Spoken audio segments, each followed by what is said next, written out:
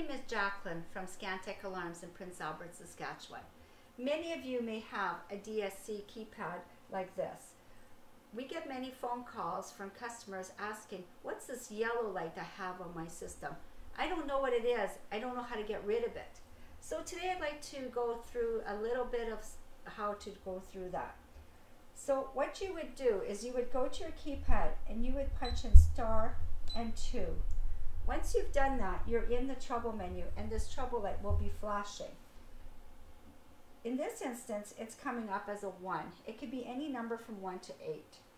If you get a 1, you would press 1 again, and it tells you that it's still at 1. So that's telling you that it's a low battery in your main control panel.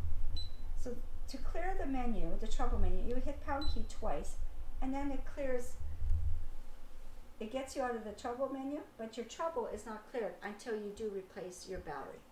Same thing if you have this style keypad, star 2, your number 1 will come up, and then you press 1, and it's going to bring you same thing, and so on and so forth.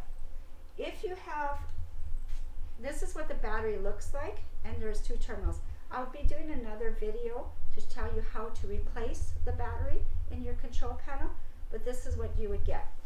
Our phone number is 1-877-212-5276. We keep these in stock, so please give us a call. We'd be more than happy to ship one to you or go in and replace it for you. Also check out our website at scantechalarms.com.